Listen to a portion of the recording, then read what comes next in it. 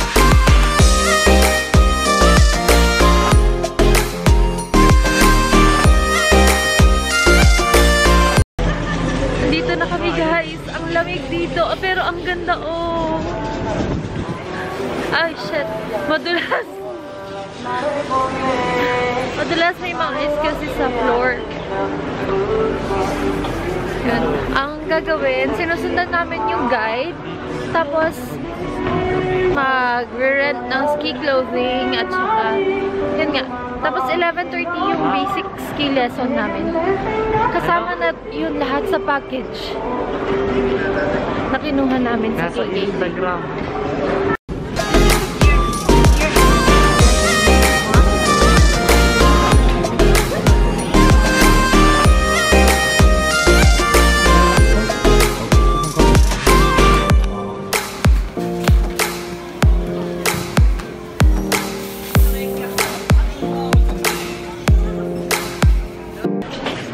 Guys, ayan, para ako nasa Pilipinas sa init. Sobrang dami kong suot. Mainit kasi dito sa loob, pero ang ganda sa labas.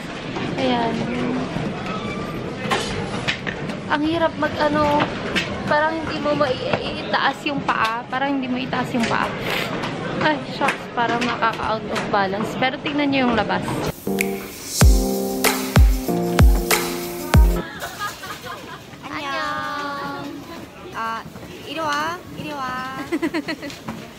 안녕. 안녕.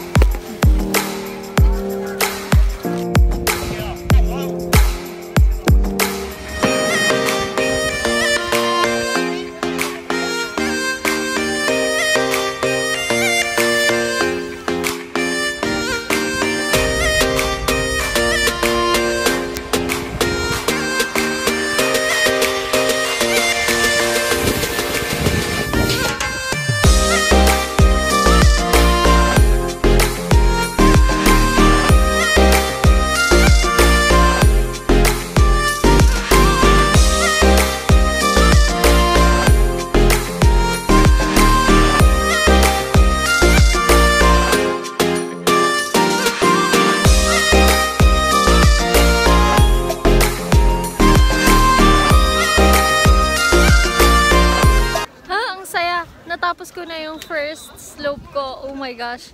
Um, nung una nakakatakot, tapos parang medyo okay naman na. Pero ano, ang hirap pala niya i-stop kahit tusukin mo ng pole. Ayaw talaga, parang tumatalbog lang yung pole. Tapos yung A na tinuro sa amin kanina, parang hindi mo siya magagawa. Ang hirap i-control, pero masaya. Ayun, ulit kami ulit. Ang haba nga ng pila, ang daming tao.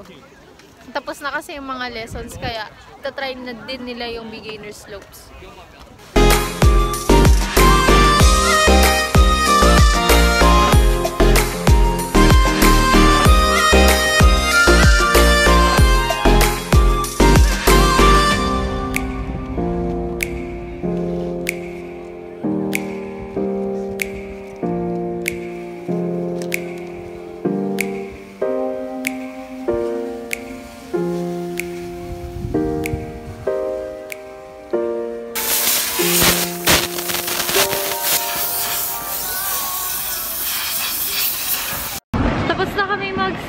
Na-return na rin namin lahat-lahat.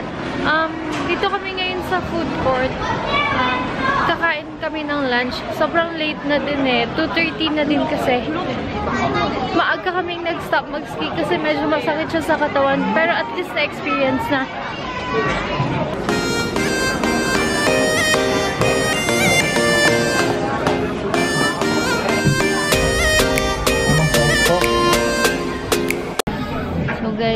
Nandito pa rin kami sa food court. Um, wala na talaga kaming ginawa dito. Hindi na kami bumalik para mag-ski. Mm, 5.30 yung pick-up sa amin dito. I don't know kung anong time kami makakarating ng ng Honggik University Station. Pero i-end ko na yung vlog ko dito for today. Bye!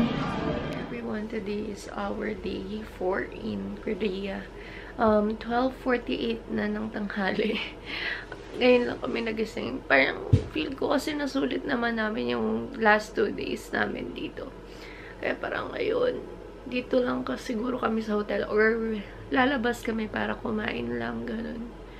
Medyo ano kasi, ang sakit ng katawan namin sa ski at saka dun sa Everland. Kaya parang rest muna. Medyo matagal pa naman kami dito kaya parang okay lang na masayang yung araw namin ngayon.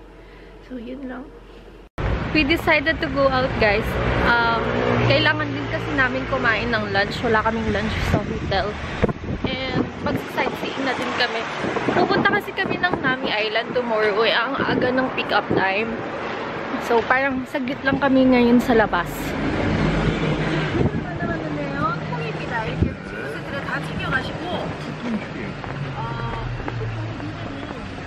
Dito talaga yung mga outfitan dito eh. Tataba kang tingnan.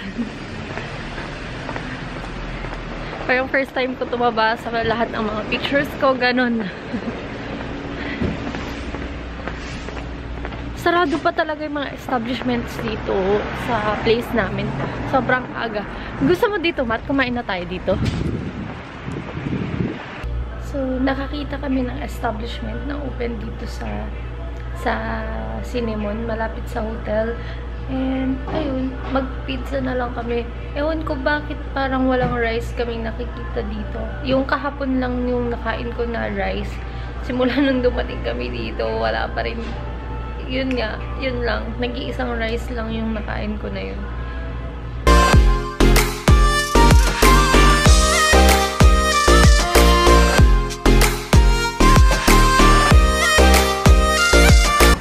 Kaka-exit lang namin ng Angguk Station. Papunta kami ngayon ng Bokchon Hanok Village. Grabe, kakaiba talaga yung lamig ngayon. Negative 8 na. Pa talaga ang sakit sa mukha. Ang sakit sa lahat. Puro reklamo yung naririnig nyo dito. Pero totoo guys. Diba? Parang hindi ko na gagawin bumalik ng winter dito. Siguro spring or fall. Pero feeling ko malamig din daw kasi ng fall eh. Pero at least hindi ganitong kalamig. We're here at Hanok Village. Gusto kong mag-rent ng handbook pero parang hindi ko kaya kasi sobrang lamig. Miski yung sipon mo, hindi mo na maramdaman. Oh my god, nangingitim na yung mga kamay ko.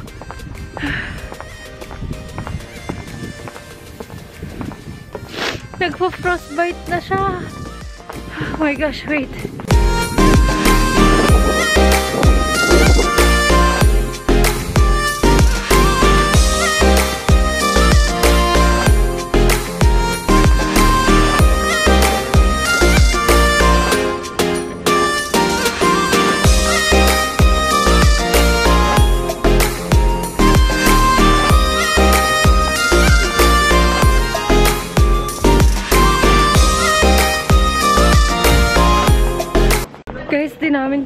Lamig. Uuwi na lang kami sa hotel. Mahaba pa naman yung time namin dito eh. Kaya kaya pa namin maglibot sa ibang lugar. Pero dito hindi talaga. Hindi namin kinaya yung sa Bukchong Hanok Village. Negative 9 na kasi ngayon. Ah, pupunta na lang kami sa Hongdae, sa Harry Potter Cafe. Doon na lang kami magpapalipas ng oras. Sobrang lamig talaga ngayon. Pero bumili kasi kami ng hot pack. Tapos sabi nung nagtitinda, mas malamig daw kahapon. Eh, hindi namin alam na sobrang lamig kahapon. Kasi galing kami ng... Saan yun? Basta sa Vivaldi Ski Resort. Ibang place kasi na yun eh. Kaya parang iba yung temperature nila. Yun ngayon, naghintay lang kami ng train. Um, yung metro pala dito or yung MRT or yung subway, kung ano man yung tawag nito.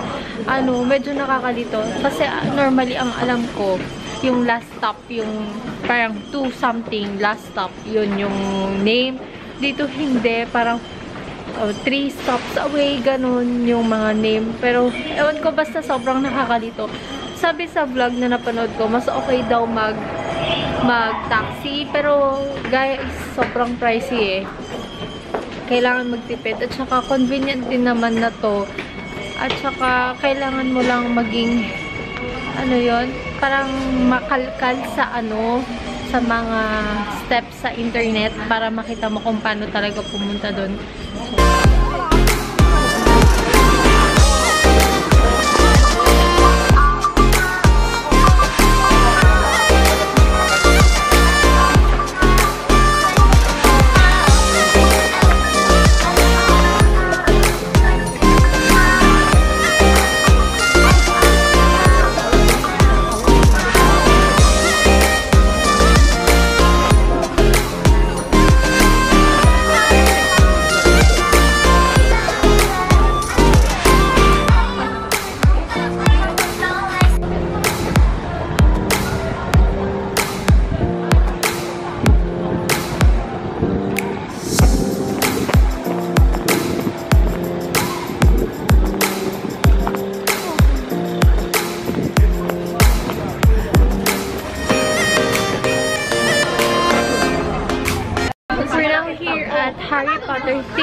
Cafe. Medyo mahaba yung pila. Para lang makapasok. Bago daw kasi to, kaya siguro ano, may pila pa. Dito na din kami siguro magdi-dinner. Grabe guys, nag-frostbite talaga yung yung kamay ko. Ewan ko lang yung toes ko. Shucks. Katakot. Tapos, ayan, yung ilong ko, pulang-pula na. Magkakasakit ka talaga dito. Kasi in, mainit. Ah, hindi mainit. Sakto lang sa mga sa loob ng stations, ganun. Pero paglabas mo talaga kakaiba. Sobrang lamig today. As in yung hindi mo makakayang lumabas. Pero sayang kasi nandito na rin kasi kami. Alangan babalik pa kami, di ba? Kaya ayan, libot-libot lang.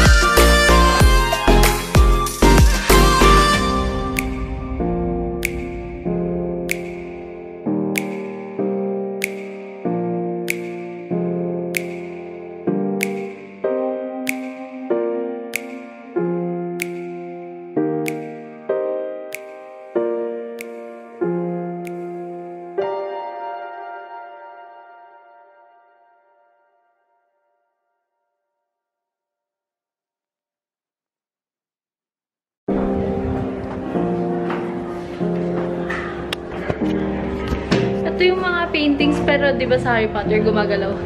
Yun.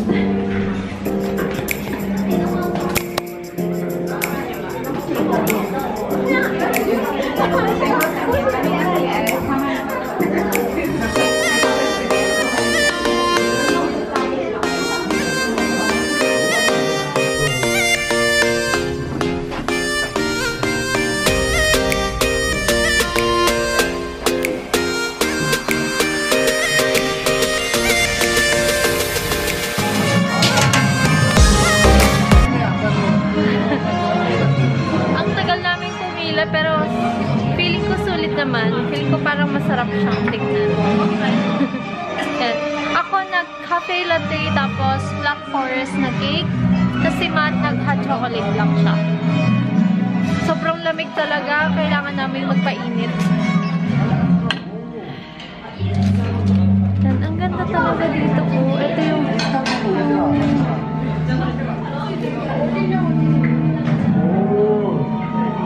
Yan.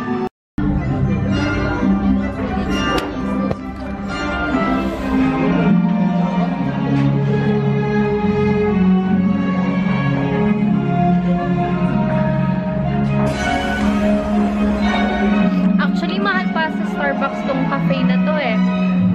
Kaso ano, parang normal lang yung kape nila. Yun yung masasabi ko. Hindi kasi okay lang. Hin- Hindi ko naman sinasabing hindi masarap. Pero, ang pupuntahan mo lang talaga dito yung mag-picture. Yun. Tapos, yun nga. Parang, magkano na agad yung kape. Kung i-convert mo, mahal yan para talaga sa Pilipino. Pero siguro dito kasi yung cost of living sanay na sila at saka yung mga paninda. Kasi ang napansin ko talaga isang kain dito medyo pricey talaga eh compare sa Philippines. Yun. Tama na yung pricey-pricey at saka rent. Let's enjoy the food na lang. Bye!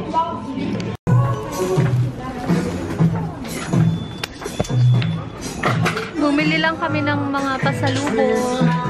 And eto na talaga end ng vlog ko for today. Bye!